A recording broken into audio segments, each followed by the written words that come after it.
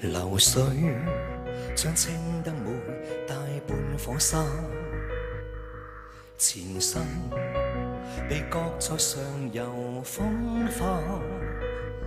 但那天经过那条溪下，斜阳又翻照闪一下，遇上一朵落花，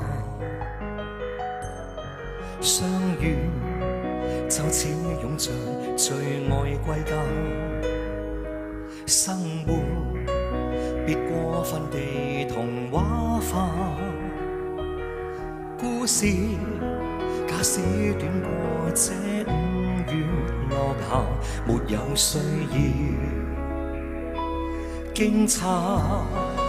流水很清楚释化这个责任，真的身份不过送运。这趟旅行若算开心。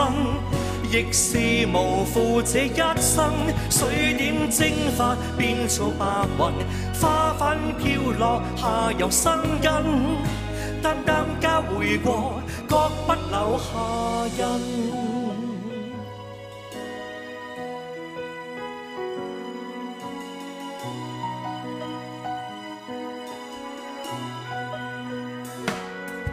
流水在山谷下。再次分岔，情感渐化做淡然优雅，自觉心境已有如明镜，为何为天降的气下泛过一点浪花？天下并非只是有这朵花。不用为故事下文牵挂，要是彼此都有些既定路程，学会洒脱，好吗？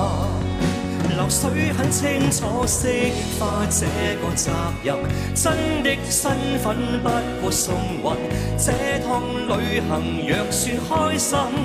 亦是无负这一生，水点蒸发变做白云，花瓣飘落下游生根，命运敲定了要这么发生。讲分开可否不再用憾事的口吻？上才会庆幸。